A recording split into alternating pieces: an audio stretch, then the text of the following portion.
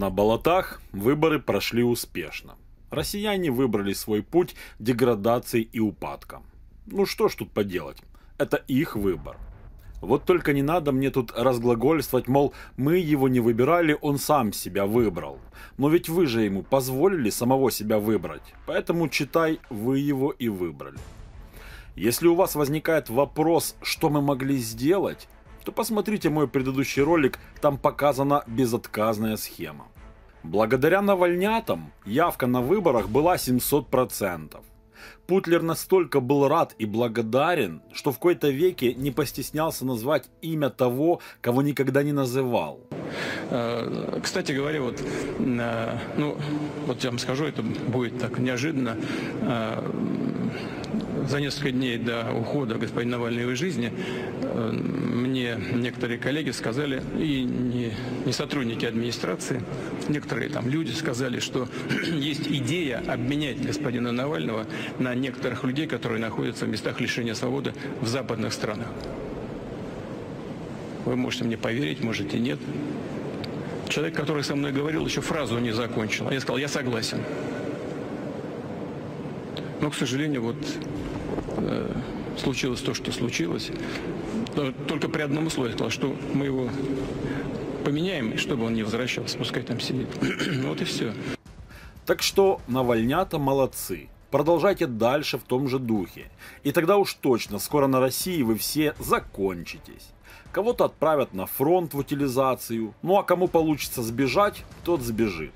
Потому как у меня нет ни секунды сомнения, что будет и всеобщая мобилизация, и теракты, и все, как вы любите. На Чечне вообще проголосовало за Путина чуть ли не 99% умора. Удивляюсь этому народу. Им суд в лицо, а для них все божья роса. На самом деле это просто констатация факта. Я отнюдь ничему не удивлен. Навальнята, в принципе, поступили так, как они всегда и поступают. Ну а Путин, как всегда, нагнул свой быдлостан, и теперь у него впереди целых 6 лет, чтобы использовать своих рабов, как ему вздумается. И, конечно же, чтобы сделать себя вечным царем. Я думаю, ему это не составит труда. Потому что чем беднее и запуганнее народ, тем покорнее и прислужливее он будет. Когда я вижу такие проценты успеха Путина, мне вспоминается один политический деятель, у которого за неделю до расстрела было тоже чуть ли не 100-500% поддержки населения.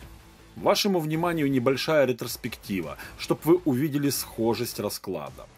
Это престарелая пара, которую бесцеремонно крутят военные, румынский диктатор Николай Чаушеску и его жена Елена. После быстрого суда на табуретке их выводят на расстрел. Желание народа как можно быстрее расстрелять этого диктатора и его всеми ненавистную жену было столь велико, что трибунал длился не более трех часов. Понятно, что никакой речи о каких-то правовых нормах здесь вообще не шло. Весь этот суд был просто формальностью. Был вынесен приговор расстрел, и применить его следовало немедленно. Последним их желанием было, чтобы их казнили вместе – но вторую просьбу не связывать руки и не унижать отклонили. В тот же день, 25 декабря 1989 года, в день католического Рождества, Читу Чаушеску расстреляли на территории воинской части. Мать нации и полноводный Дунай разума, так эта парочка любила, чтоб их называли, валялись под обшарпанной стеною возле солдатского туалета, а над их телами глумились военные. Ни Горбачев, ни Чаушеску не подозревали, что в этот день они прощаются навсегда. С этого момента обратный отсчет их жизни составлял примерно один год. Тогда, в 1988 году, Чаушеско чувствовал себя триумфатором, великим вождем. Горбачев пытался ему объяснить, что уже три года идет перестройка и что нужно принимать решения, но Чаушеску ни слова не понял из того, что говорил ему Горбачев нужно было предложить народу какую-то морковку, за которой народ как послушный осел войдет в следующее тысячелетие, чем в принципе и занимался Горбачев. Но Чаушеску, как выяснилось, был глуп и туп. В принципе, таким и должен быть диктатор, как нынешний царь России Путин. Таким образом, Чаушеску не сделал никаких выводов ни для себя, ни для Румынии. Поэтому после встречи с Горбачевым он улетел в объятия своей смерти. Ведь диктатура – это, можно сказать, как синдром, болезнь, побочный эффект которой – это оторванность от реальности. Он живет и существует в своем выдуманном мире и льет этот мир в лицо своему недалекому народу. В целом, начало карьеры было весьма неплохим. Он проявлял себя как вполне себе либеральный политик, как и Путин на заре своей карьеры. Начало его карьеры было ознаменованным амнистией 9 тысяч политзаключенных. Он осуждал вторжение СССР в Чехословакию, чем заработал благосклонные отношения западных стран. В Румынии продавались западные книги, слушали западные радиостанции, а граждане могли спокойно общаться с иностранцами, не боясь ареста. С Чаушеску встречались Шарль де Голь и Ричард Никсон. Более того, Чаушеску пытался корчить из себя миротворца. Он предлагал Никсону помощь в урегулировании Вьетнамской войны. Это, конечно же, приносило свои плоды. Ему открыли доступ к международным финансам и западным технологиям. И ему удавалось довольно ловко лавировать между двумя системами. Однако на каком-то этапе все резко изменилось. А изменилось все после того, как в 70-х годах он посетил Китай и Северную Корею. Видимо, он вдохновился этими тоталитарными странами. Ему там устроили воистину царский прием. Невероятный кортеж, ликующие толпы, даже придуманные песни про Чаушеску. Пообщавшись с Мао Цзэдуном и Ким Ир Сеном, Чаушеску понял, настоящий путь к абсолютной власти – это создание собственного культа личности. Но к его беде он не знал одного. Что эта дорожка, казалось бы, ведущая вверх, в конце приводит тебя к виселице. Вернувшись домой, в ответ на роскошный прием в Пхеньяне, Чаушеску позаботился, чтобы труды коммунистической северокорейской идеологии Чучхе были переведены на румынский. С этого момента этот либерал стал превращаться в диктатора. Мало того, он не просто создал культ собственной личности, а он еще и сам в это свято поверил.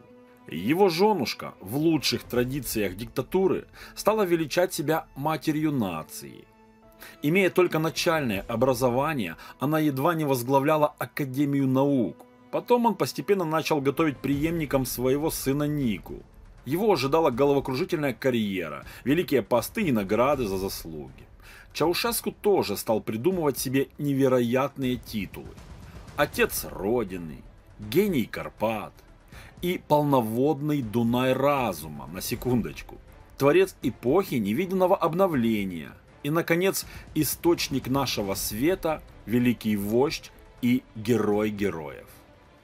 Телевидение старалось снимать всегда Чаушеску с определенных ракурсов, чтобы не было видно, что он небольшого роста. А на фотографиях, которые находятся у кабинетов чиновников, он должен быть всегда обязательно молодым.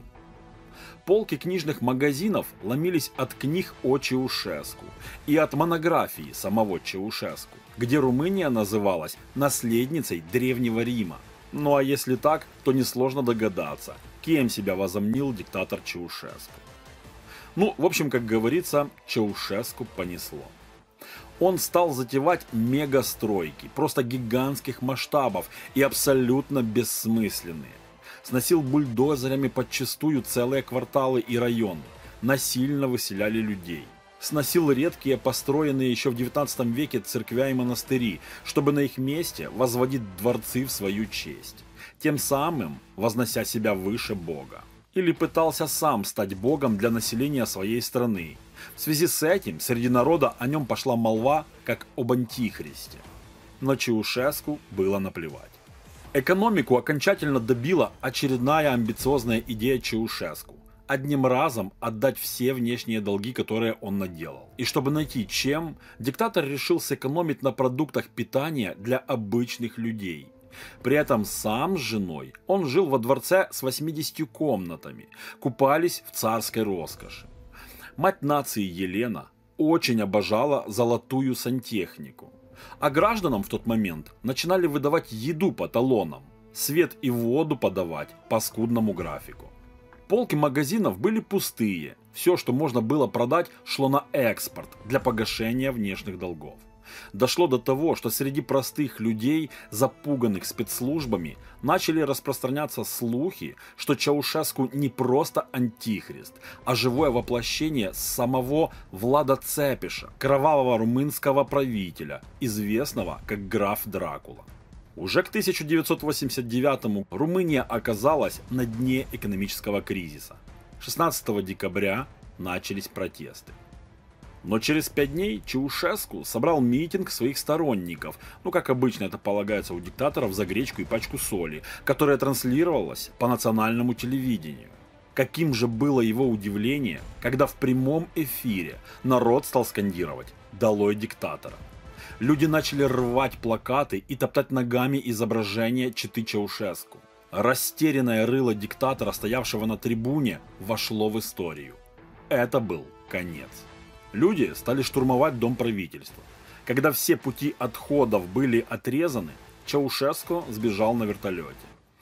Но приземлившись с женой, попали в руки своих же военных, которые уже не подчинялись ему, а его верным друзьям по партии, для которых диктатор уже был не авторитет, а бежавший преступник.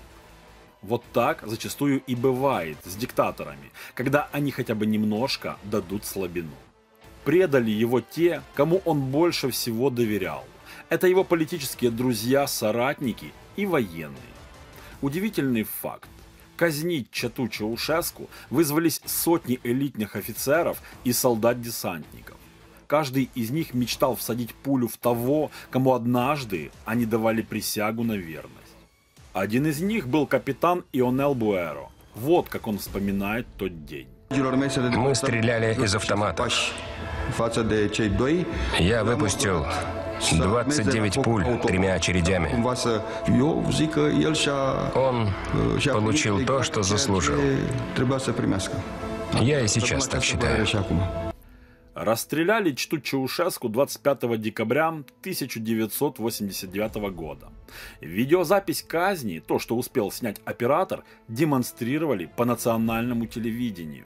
Во время демонстрации этих жутких кадров диктор произнес фразу «Антихрист был уничтожен в Рождество». Что характерно, незадолго до расстрела Чаушеску поддержка его населением составляла 85%. Что ж, Путин тоже начинал как либеральный политик. Сейчас же его культ личности вполне себе скультивирован. Но развязав бессмысленную, кровожадную войну и вбухивая в нее все ресурсы, Благодаря санкциям и международной изоляции и уничтожению нефтеперерабатывающей отрасли, рано или поздно Россия окажется на дне экономического кризиса. И вот тогда мы увидим Путина возле пошарпанной стены у солдатского туалета. Его также предадут его политические соратники и военные, и взвалят на него всю вину за происходящее. И я обязательно дождусь этого дня, поскольку он уже виднеется на горизонте. Thank you